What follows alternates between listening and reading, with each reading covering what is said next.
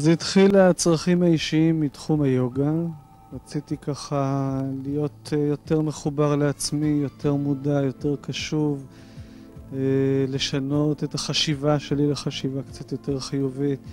ומתוך ההתנסות האישית ראיתי למה לא לעשות את זה גם עם אחרים, כשזה כלי כזה נפלא, ומזה זה התפתח ל- לרפואה הסינית, לטכניקות של הילינג. זה הכיוון.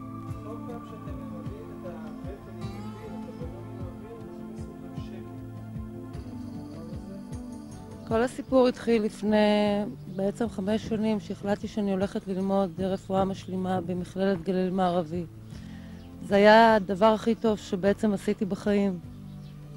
כי למדתי וגם טיפלתי. לפני כן אה, הייתי כמו כל עקרות הבית, גידלתי ילדים, עבדתי בחוץ קצת. וזהו, בעצם אה, כשהילדים גדלו החלטתי שאני הולכת ללמוד, ואז אה, פניתי למכללה ונרשמתי לקורס של רפואה משלימה. היום יש לי זמן לכל דבר. היום אני חושבת על עצמי יותר. קודם אני. לפני כן זה לא היה ככה.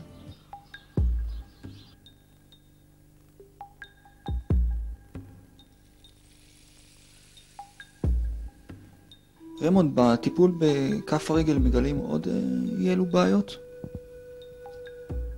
כן, לפעמים בן אדם מגיע אליי בגלל בעיה מסוימת, ותוך כדי טיפול במבט או בטיפול עצמו, ברפלקסולוגיה, אני עולה על כל מיני בעיות.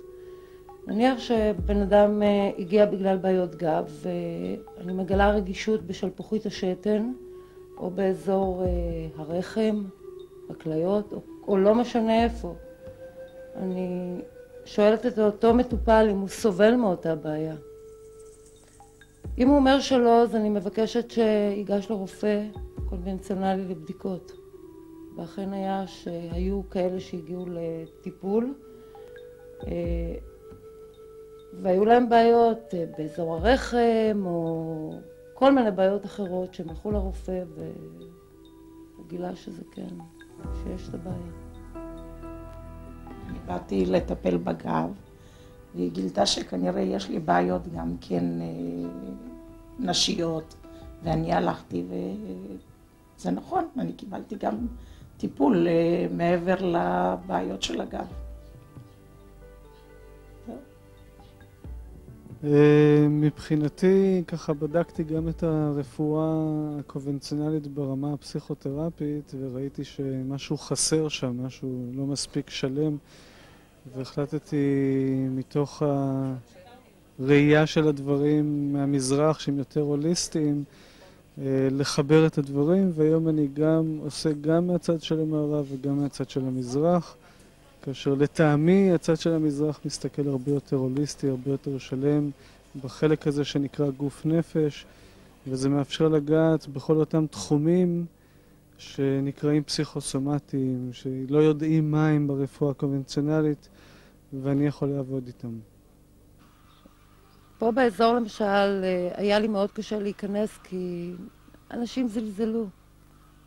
כאלה שלא ידעו מה זה. אנשים שמעו טיפולי שיאצו ורפלקסולוגיה, אמרו מה, היא מרפאה בקסמים, היא... אף אחד לא ידע בדיוק מה זה, עד שהוא לא חווה מה זה. יכולתי להסביר מיליון פעם. זה כמו, קח דוגמה, שאני אסביר לך מה זה תפוח, ואני אגיד לך שהוא אדום וצהוב, והוא עסיסי, והוא אולי קצת חמצמץ או מתוק, אבל עד שלא תנגוס בו, אתה לא תדע מה זה.